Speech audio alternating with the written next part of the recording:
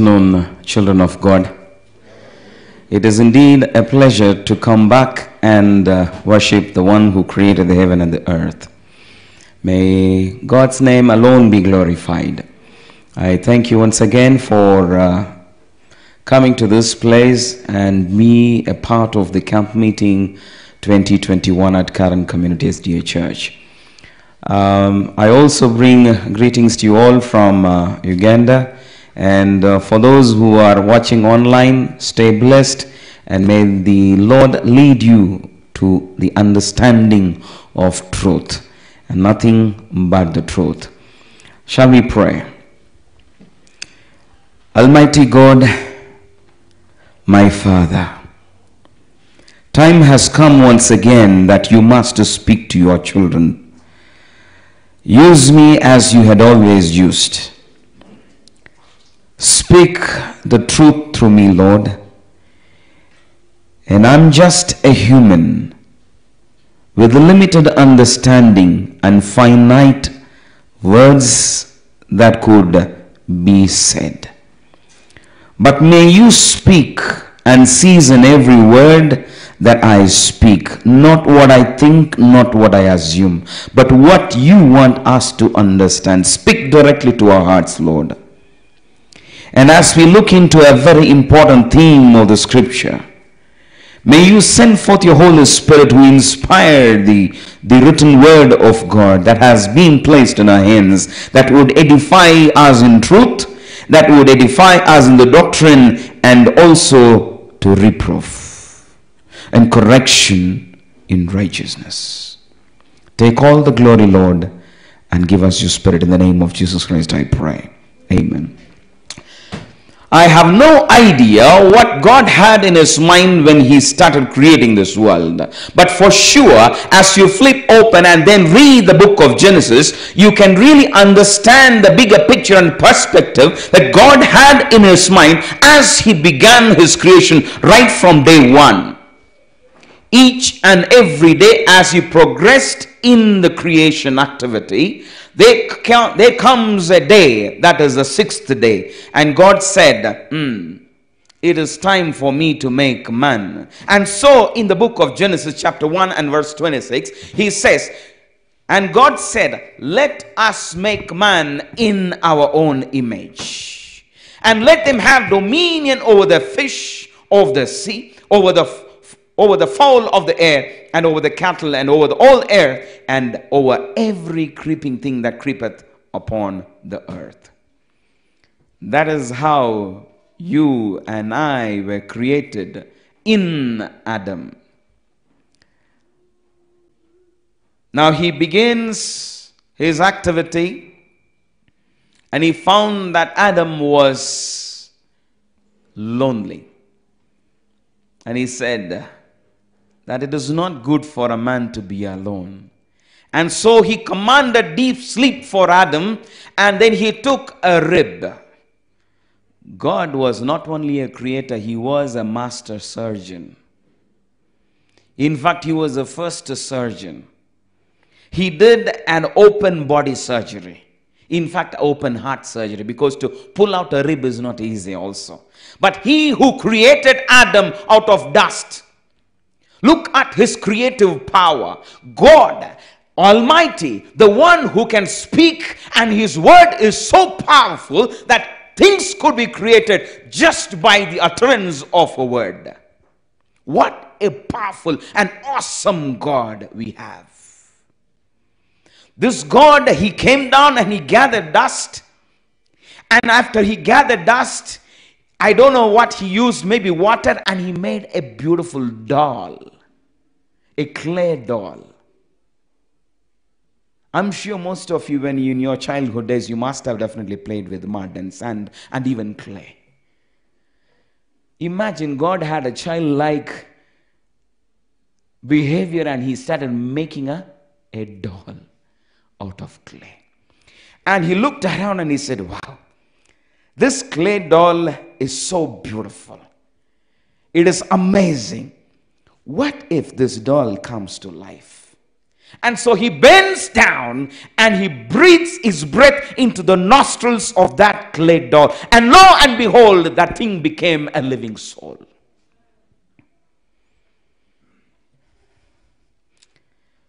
Title for today Tree of Life tree of life. When man became a living soul, and then after God created a helper, and he called her Eve, then after setting up in verse 9, chapter 2, Genesis. Book of Genesis, chapter 2, verse 9, and it says, God called both of them, Adam and Eve, and he gave them some instructions. You can't come out with a product without a manual. God came out with products and he gave them an instruction manual. The instruction manual is just one verse and the instruction manual reads like this. Book of Genesis chapter 2 and verse 9. And out of the ground made the Lord God to grow every tree that is pleasant to the sight and good for food, the tree of life. Also in the midst of the garden and the tree of knowledge of good and evil.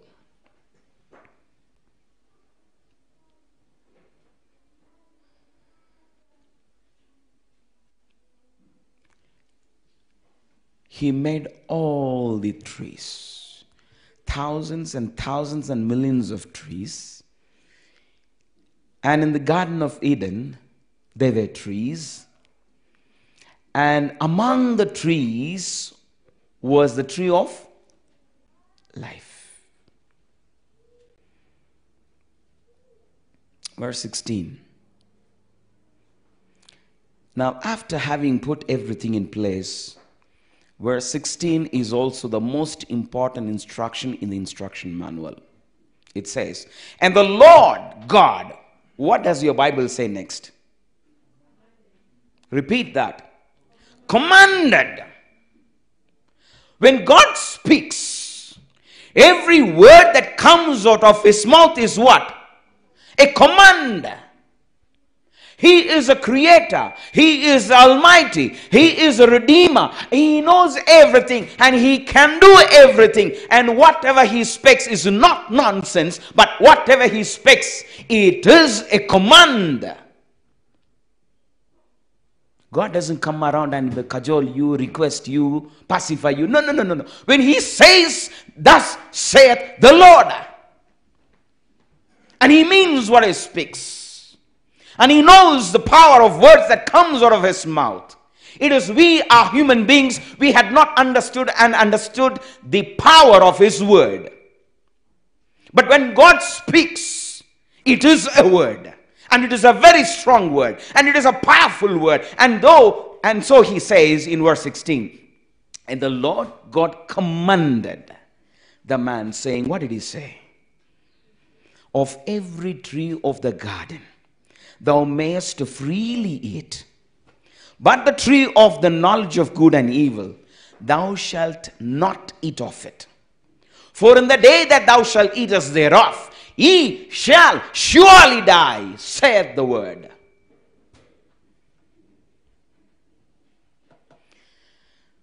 You know the rest of the story. He went she entered into a conversation with the one who was chased and thrown out of heaven, who went inside the serpent and began to speak.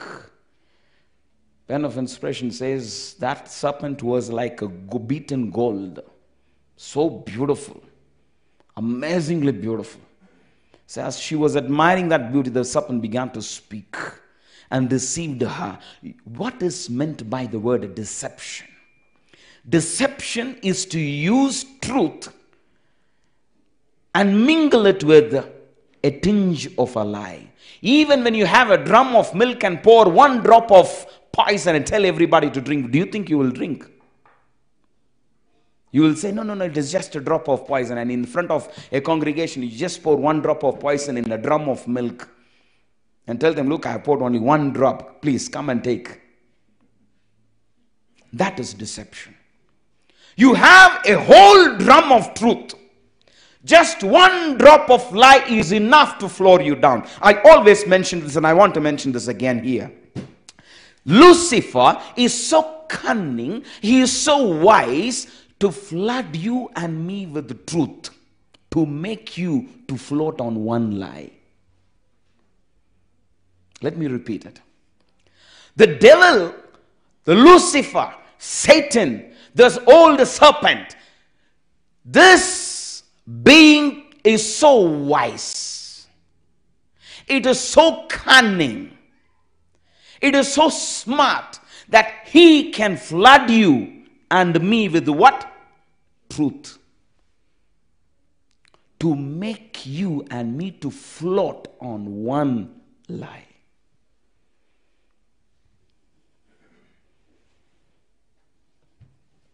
tree of life.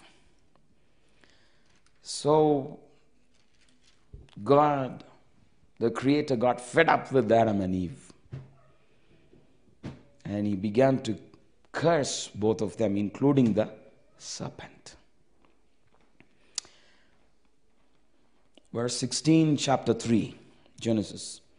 Unto the woman he said, I will greatly multiply thy sorrow and thy conception. In sorrow thou shalt bring forth children, and thy desire shall be to thy husband, and he shall rule over thee. And he turned to the man and he said, Unto Adam, he said, next verse 17, Because thou hast hearkened unto the voice of thy wife, and hast eaten of the tree of which I, what? Commanded thee, saying, Thou shalt not eat of it. Cursed is the ground for thy sake.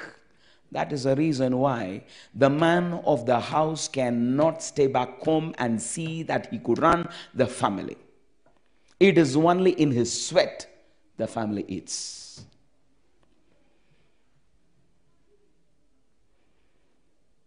Thorns also and thistles shall it bring forth to thee, and thou shalt eat the herb of the field. In the sweat of thy face thou shalt eat bread. 19th verse. It is a very saddening story. Let's look at that. Did God request Adam and Eve? What was it? Command. So, whatever God says, whatever instructions that he puts in the manual is nothing but what? Command. It is as simple as that. Have you understood? Perfect. Let's go and read the chapter 3 and verse 11. And I'll begin from there. And he said, You see, after they sinned, Adam and Eve went and hid. God comes in the cool of the evening. And in verse 10, he said, I heard thy voice in the garden, and I was afraid because I was naked, and I hid myself. And he said, God told him, Who told thee that thou wast naked? Hast thou eaten of the tree whereof I commanded? So, repeatedly, when God says something, it is nothing but a command. When the president of a country speaks, whatever instructions he gives, it becomes a what? A directive. A directive is a law. Am I right? There is no say against it. But here is a creator with awesome power and might and glory and when he speaks to the dot, to the word, verbatim, we must hold on to it. It is nothing but obedience. Nothing but obedience. Sheer obedience. Now, when God created Adam and Eve, Did he create them as mortal beings or immortal beings? It's a hard question. When God created Adam and Eve, did he create them as mortal beings or immortal beings? Are we sure? Okay. But let's see what the Bible says. I also thought the same thing. When God created Adam and Eve, they had the natural propensity to die. Are we together? However, among the trees, the purpose that he planted the tree of life is for them to go and partake of that fruit on a regular basis such that they extend their lifetime. It's the perpetuity of life. You might wonder, uh-huh, uh-uh, where did you get this one? From kindergarten, this is not what we have learned, but that's what the Bible says. Let's look at chapter 3, Genesis, and verse 22. That's where I get this from. This came right from the mouth of the Lord. And he says, And the Lord God said, Behold, the man has become as one of us. After eating the tree of the knowledge of good and evil. Never miss another sermon. I don't know when, but I could just come and speak about the tree of the knowledge of good and evil. It's called the forbidden tree. That is the title. Don't miss that. It is a very deep doctrinal theology. Come, don't miss.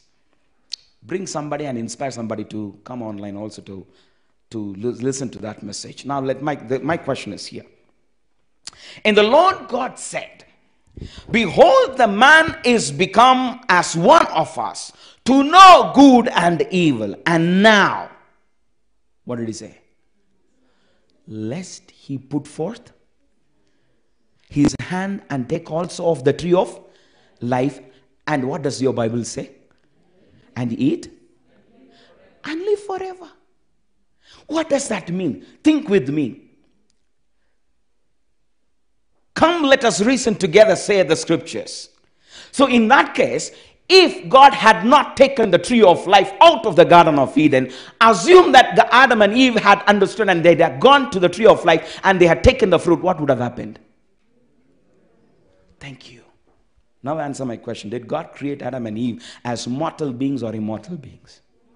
Thank you very much. They had the propensity to die. That is the reason why that the, the only clause, the only word, that only demarcation that differentiated the immortality and mortality is nothing but obedience. If you have understood that, say amen. The only demarcation that separates you and me as mortal beings from immortality is what? Obedience. Because it is because of disobedience, Adam and Eve had to be chased out of the Garden of Eden. They were forbidden from eating the tree of life. What became the forbidden tree has now shifted goalposts, and what became the forbidden tree now? tree of life.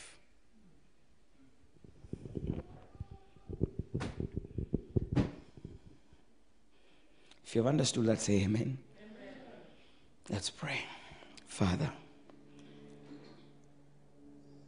give us clear thought. Sometimes we come with our own understanding. But as we read the scriptures, may the Holy Spirit teach us with clear words. Help me with the right word which is plain spoken, easy to understand. Because this is what is going to save us. Take all the glory, Lord. In Jesus' name I pray. So, obedience is the essence. When God speaks, it is a command. When God commands you and me, nothing but obedience is what is expected from you and me, from all of us. If you obey, if I obey, immortality. If I disobey, mortality will take over my soul. Are we together? Read with me, book of First John. It's a very famous word. Somebody can stand up and read it for me. First John 3 4. What does it say?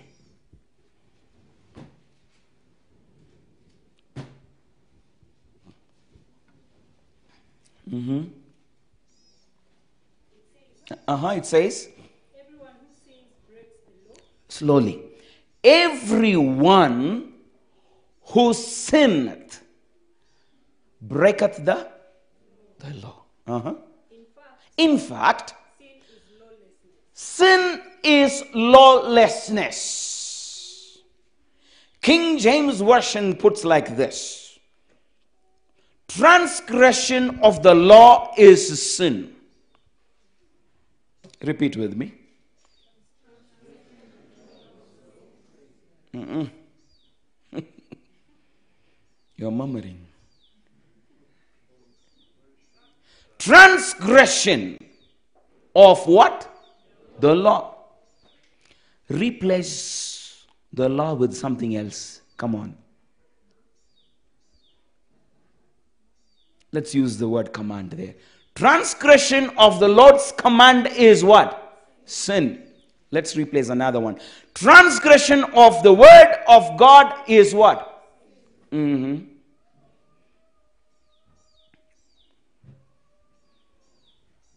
So man lost his eternity because of disobedience. And this thing went on and on and on and on until Malachi and then Matthew begins.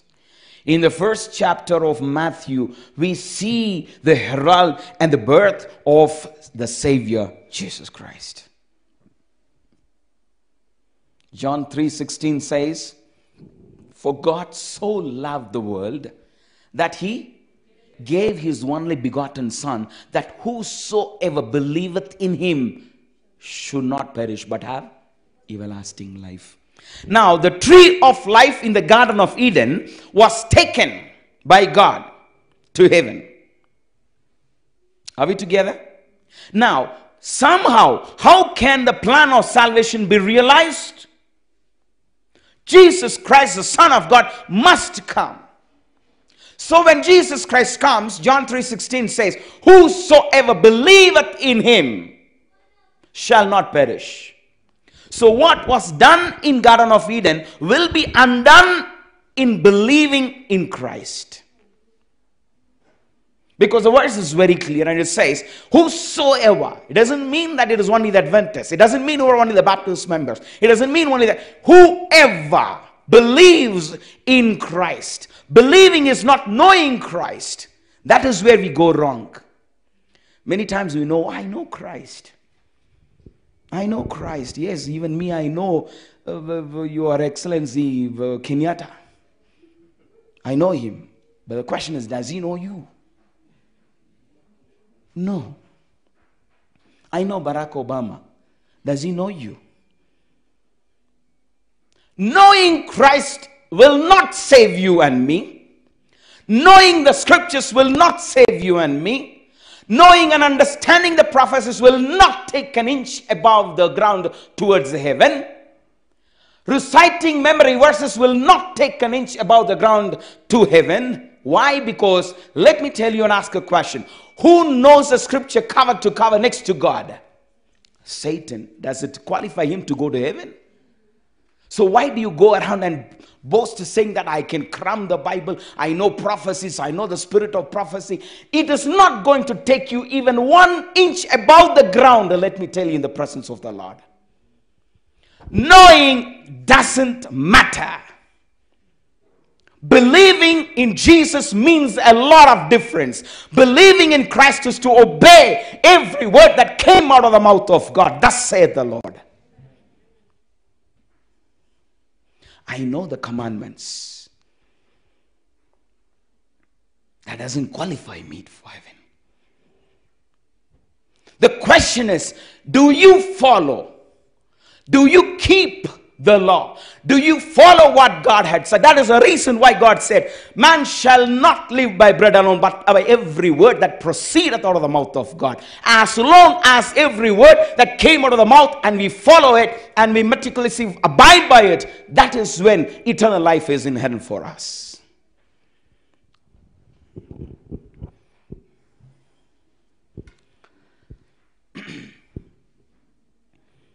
Question is, how do we get eternal life? John 3:16 is one answer.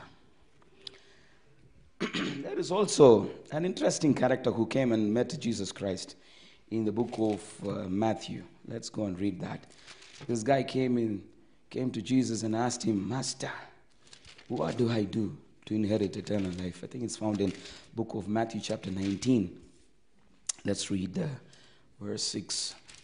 Book of 19 Matthew chapter 19 and verse 6, it says, Wherefore they are no more twain, but one. Sorry. It's. Uh,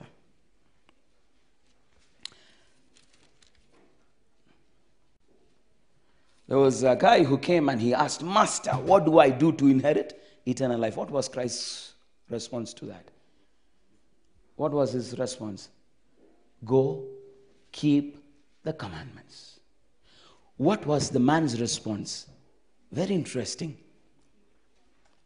How did he respond to Jesus Christ? Huh? Please answer me. He came to Jesus Christ and he said, Master, what should I do to inherit eternal life? And he, Jesus Christ turns to him and he said, Why callest thou me the good master? Because there is none good than thee, the Lord God. Go, keep the commandments, and you shall have eternal life. Now the question is, what did the man respond to back to Jesus? This is what I have been keeping right from my childhood days. Question again Was he telling the truth or a lie? He was telling the truth. He was telling the truth. Yes, it is true now. Am I contradicting in what I'm speaking to this, this afternoon? One side I'm saying, keep the law. Do whatever God has commanded. Now I'm saying, my, my, we are putting another argument. This guy was keeping the commandments. But the question is, did he keep the commandments? Yes. The moment he told Jesus, Look, I've been keeping these commandments right from my childhood days, what was Jesus Christ's response? Go, sell your property. That could have been done. But what pained him most was the next statement go, go, sell your property and give poor and follow me. He could have done some of those ones. But the Bible says the man left the place sorrowful. What does that mean? So, what is the use of keeping the law? Interesting question. Not so. But the Bible says to have eternal life is to keep the law. But now we are now finding it very difficult because God says now this fellow is, is, is tightening everything. Let's read Romans chapter 7.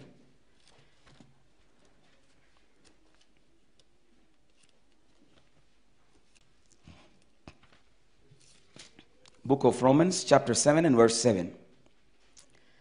It says, what shall we say then? Is the law sin?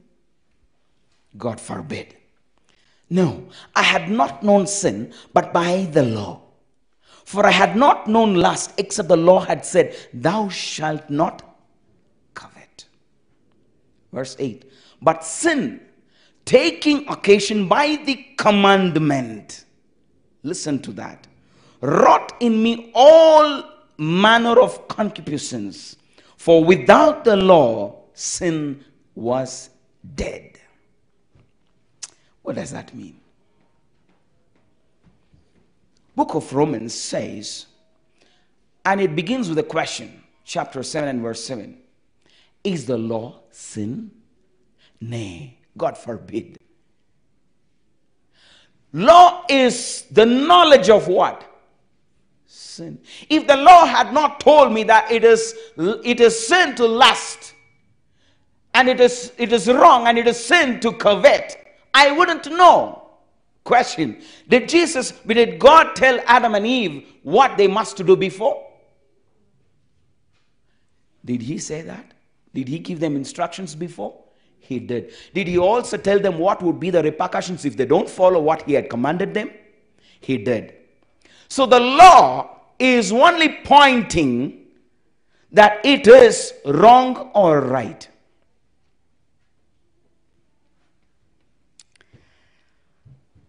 You ask a very good Adventist. You call him, could be a pastor, it could be an, a leader. You ask him, Ah, oh, Elder, you are married. Yes, I am and we understand that you're faithful to your wife. Yeah, yes, I am. Why? Why are you faithful? And if the elder says, because the Bible says so, it is dangerous. Pastor, if you ever tell for me, I'm a pastor and I want to be faithful to my wife because the Bible says so. Or if you tell, because I want to go to heaven, you are in real danger. That is precisely what Christ is pointing to. Being faithful should not be a compulsion. Are we, are we there? It is automatic. If you had told, yes, I love my wife, I saw, I am faithful. Ah, there you are. That is where you have kept the law. If you have understood that, say amen. I don't know if some of you are still confused as to what is happening here. Let me put it another way.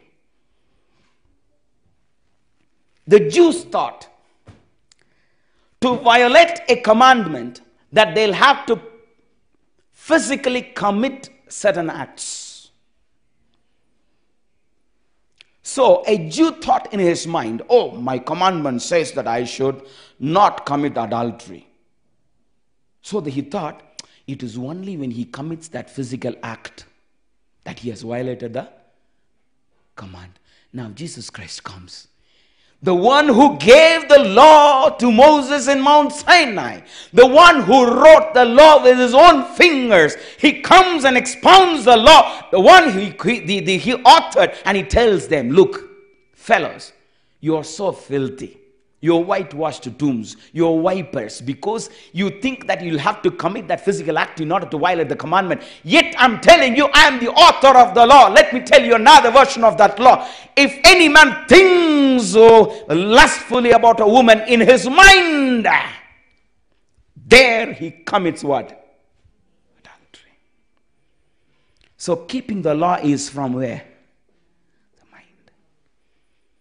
You don't have to take a dagger and then kill your brother and say, I have committed murder or committed, the, uh, I mean, I have, thou shalt, I have violated the commandment of thou shalt kill. God said, the moment you think ill about your brother, you have committed murder already. The law and the commandment, they are the same. Many Christians, they just violate or misinterpret and uh, mis- distort that message and they say, law is different, commandments are different. Yet the law and commandments, they are the same. They say, oh, the laws, they were nailed on the cross. Commandments, it's okay, it was only for the Jews. Exodus chapter 16 and verse 28. book of Exodus, chapter 16, and verse 28. Somebody read it.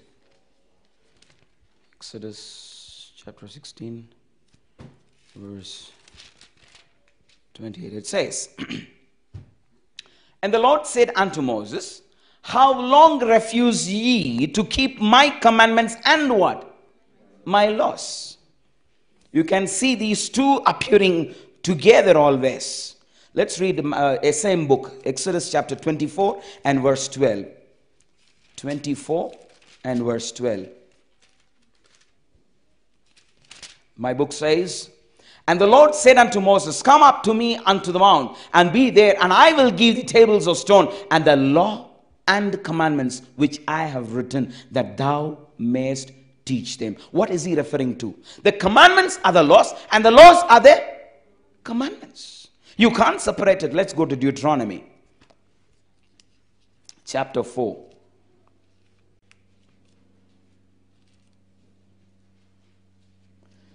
Book of Deuteronomy, chapter 4, and verse 13.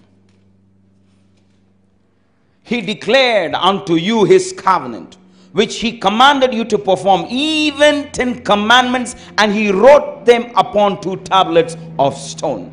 Now it is also referred to as a covenant. Let's read another verse, the same book, Deuteronomy chapter 4 and verse 33. It, it says, Or oh, did ever people hear the voice of God speaking out of the midst of the fire as thou hast heard and lied? We can read also the pre- previous verse, and it says, The commandment and the laws, they are the same. Let's go to chapter 33, Deuteronomy, and verse 2. Deuteronomy chapter 33 and verse 2, it says, My doctrine shall drop as rain. My speech shall distill as the, as the dew, as a small rain upon the tender herb, as the showers upon the grass. God has always intertwined all these things into his laws and commandments. And thus saith the Lord.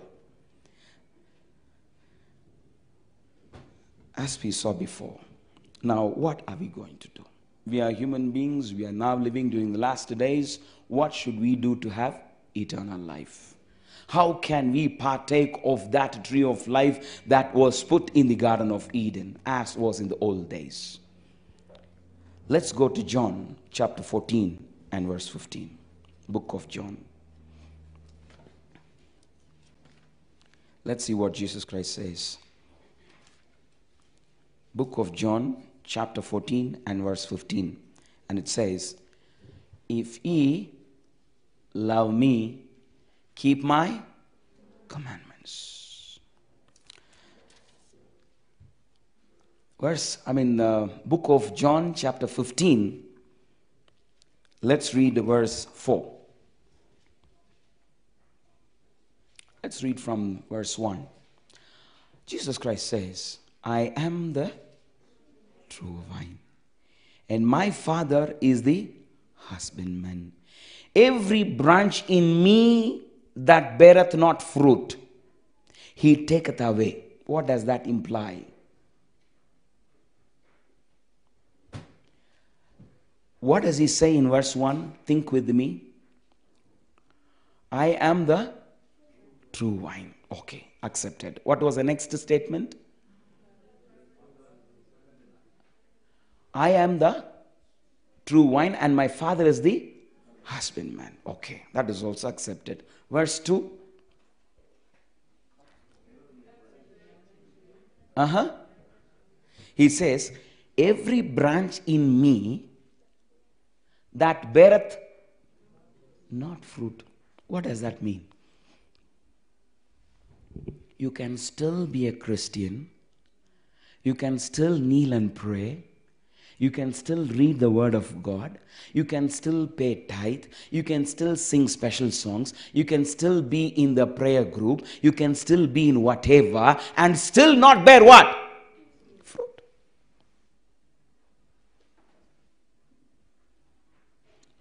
No, it was Jesus Christ who says that. If you even you can abide in me, but if you don't bear fruit, listen to what he says. He taketh away. Who? The husbandman. And every branch that beareth fruit, he purgeth, that it may bring forth more fruit. Come down to verse 4. Abide in me, and I in you, as a branch cannot bear fruit of itself except it abide in the vine. No more can ye except ye abide in me. See how many times is he mentioning the term abide in me, in me, abide in me. I am the vine and ye are the branches. He that abideth in me, verse 5, and I in him, the same bringeth forth much fruit, for without me ye can do nothing. If a man abide not in me, he is cast forth as a branch and is withered, and men gathered of them and cast them into the fire, and they are burned. And if ye abide in me, and my words abide in you, uh-huh, ye shall ask what ye will, and it shall be done unto you. Verse 10 If you keep my commandments, ye shall abide in my love. He has summarized it. Verse 10, Jesus nails it. And he says, Uh huh, I've been lecturing you fellows. Finally, let me tell you what is meant by abiding in me. You can still be in the church. You can still kneel down and pray. You can still read your word, uh, word of God. You can still master the art of prophecies and whatsoever. But if you don't keep the commandments, Jesus Christ here declares that you had not been abiding in him. And that the husbandman will come and pluck you out.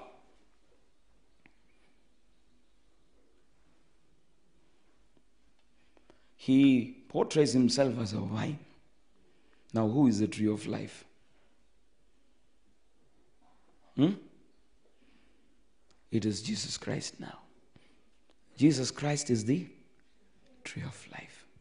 No wonder he was dragged by the streets of Jerusalem and he was given a tree and he was nailed on that tree and he was put among the thieves. And there itself judgment is declared.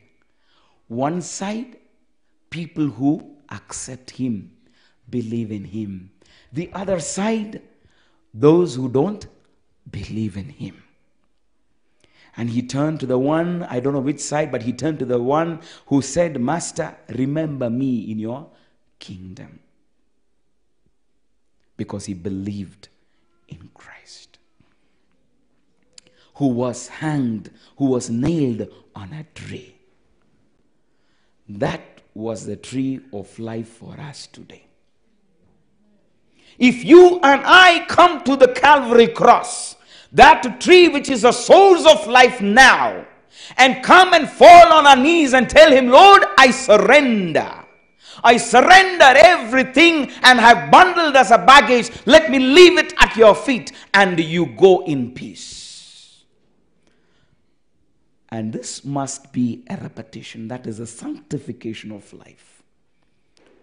Unless and until we come to Him and partake of the fruit on a daily basis, perpetuity of life will come to its cessation. That's the reason why David said, Let the words of my mouth and the meditations of my heart be acceptable in your sight always. I want you to read book of Galatians chapter 5. Let's see what would be the result of abiding in Christ. He told very clearly, if you abide in me and if you don't bear fruit, the husbandman will come and pluck you out. He also said, Abiding in me is nothing but to keep the commandments. Let us see what would be the result of we abiding in Christ by following his commandments to the dot, and let us see what the scripture says. When you and I abide in him, book of Galatians, chapter 5, and verse 22, but the fruit of the Spirit is what? Love, joy, peace, patience, kindness, gentleness, goodness, meekness, temperance. Against such there is no law, period. How does it come? Against such there is no, no law. So the fruit of the Spirit you and I can bear fruit only when we abide in God Jesus Christ. Only when we follow the words that He has spelled out. Only when we keep the commandments. that is the reason why in the book of Revelation, chapter 22, my dear sister read that beautiful verse as the scripture reading. Revelation chapter 22 and verse 14, it says, when we continue to abide in Christ and remain faithful by keeping God's commandments.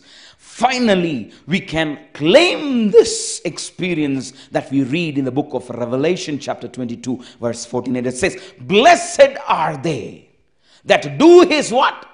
Commandments. That is precisely what is expected of you and me. To abide in Christ is to follow what he had told in the commandments. It is only to bear the fruit. You and I cannot bear the fruit unless we keep the law and the commandments. And so, when we continue in that, abiding in Christ, now that experience would take us to the next level whereby you and I can partake of the same tree of life that God took in the book of Genesis. And the Bible says, Blessed are they that do his commandments, that they may have right. What does that say? That they may have access, that they can. No, no, it says they have what? The right. Adam and Eve, they lost the right to access to what? The tree of life. Now, the same access, the rights will be given to us to access the tree of life and may enter in through the gates into the city. Finally,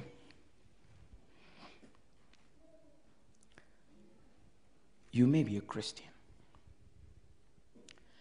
You're being in some church, we don't care. You may be a Catholic, you may be an Anglican, you may be a born again, you may be Pentecostal, you may be miracle workers, whatever you call it. The Bible says if you don't keep the commandments to the dot, you will lose the right to the tree of life. Knowing Christ doesn't matter. What do I mean? Let me put it this way. You might say, Oh, I am a baptized Christian. Fine. We respect it, we appreciate that. But into how many commandments were you baptized? Were you baptized into all the commandments? Ten? Or were you baptized into nine? Why am I saying that? God gave all the trees, all the trees in the Garden of Eden. But one tree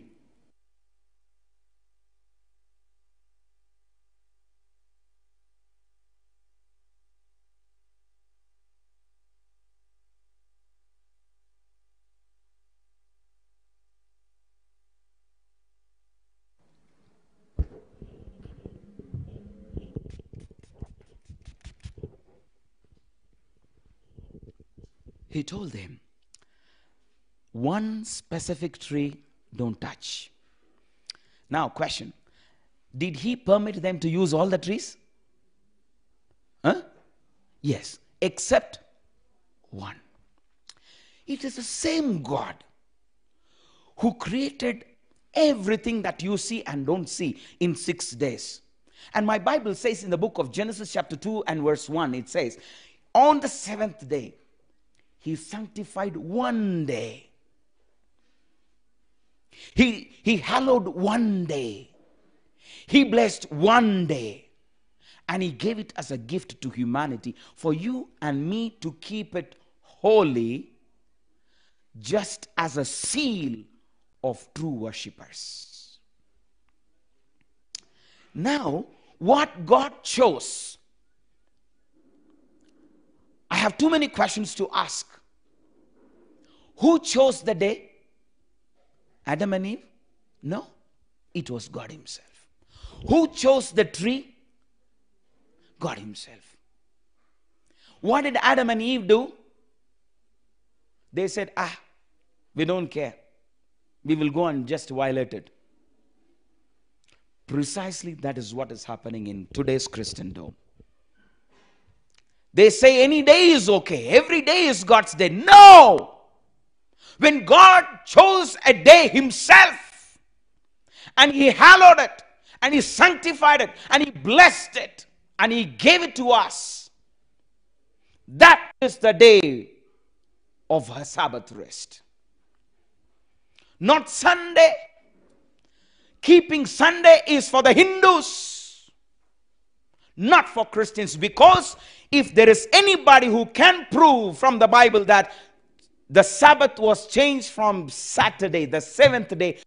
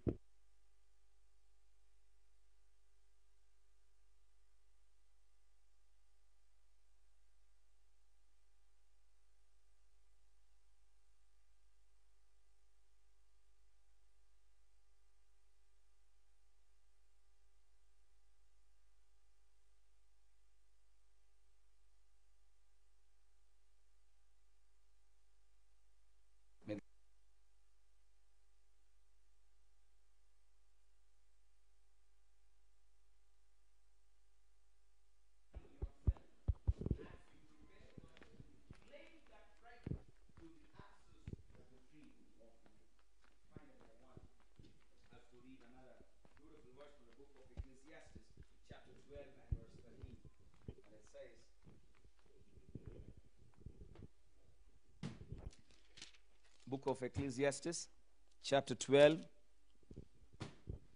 and verse 13 says, Come, let us hear the conclusion of the whole matter. What does it say? Fear God and keep his commandments, for this is the whole duty of man. This is nothing but the first angel's message. Go with the everlasting gospel and stand for Christ and live for Christ and bring someone for Christ. May God bless you.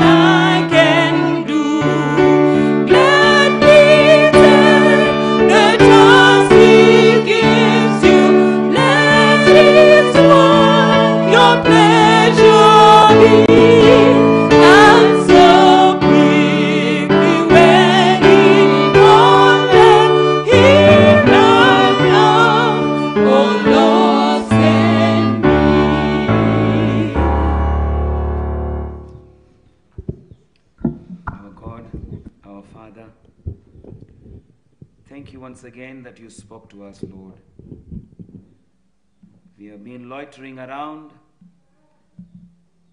assuming that we know you, proclaiming that we know you, and witnessing that we know you. However, today we have discovered knowing you doesn't matter because even the devils do tremble in your presence. Loving Father, there are many other pagans who know you, but they don't follow your commandments. How better are we today, knowing you and not following your commandments. We have always consec- desecrated what you have consecrated. Two things you declared holy in the Garden of Eden. One was the holy Sabbath. We have really desecrated that holiness. That holy observance of Sabbath has gone by the days Dear Lord, teach us how to keep the Sabbath holy. The second one that you declared holy in the Garden of Eden was the marriage. And when we look around the way in which marriages are being desecrated, men and women, they indulge in desecrating one another in their passions and worldly lusts. I only pray, dear Lord, and commit each one of us that you forgive our sins. For the fact that we have breath in our nostrils, we have hope that still there is a chance for us. But before it is too late, may the words that we have listened to, may it work in our hearts and transform us and revive us such that we will purpose in our heart to keep your commandments. We are too selective in following your commandments. And we always neglect most of them, yet the book of James says, if we offend even one, we have lost all the commandments. We have violated all the commandments. May that be a perpetual reminder in our heart. And let us not keep the law just for the sake of it, because that doesn't matter as you're pronounced. May we have a relationship with Jesus Christ. Help us to build that relationship. And to build that relationship is possible only when we read the Word of God and understand and purpose every day in our heart that we should carry the cross and follow you. Unless we lose ourselves and die to ourselves, we cannot do that, Lord. Love during the last days, as you pronounce, has waxed cold. There is coldness all around. Love for one another, respect for one another has gone out of your presence. We can see people waging war with one another. Even your, our own brothers and sisters, they have dragged each other to court. Dear Lord, forgive us. Bind us together with your love, Lord. Bind us together with your love. Forgive us if we had gone wrong, but teach us your ways, all for your glory, for I pray in the mighty name of your Son, Jesus Christ. Amen. Amen.